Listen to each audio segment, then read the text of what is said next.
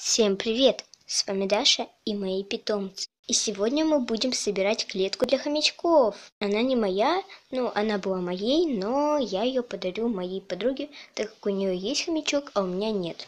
Раньше у меня были хомячки, много хомячков, и в разное время, но сейчас у меня нет хомячков, и из-за этого я решила дать клетку, потому что у меня все равно никогда их не будет. И вот я уже все достала. Так как клетка очень-очень старая, кажется, то, что она грязная, особенно на вот этих вот прутиках.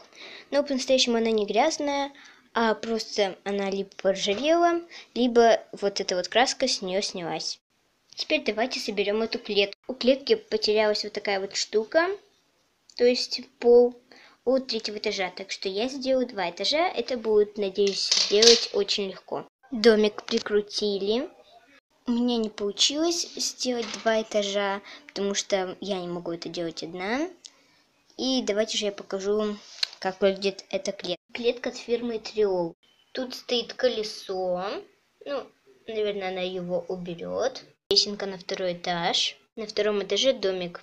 Он без окон и дверей, потому что джунгарик может застрять. И внизу эта штука достается вот таким вот образом.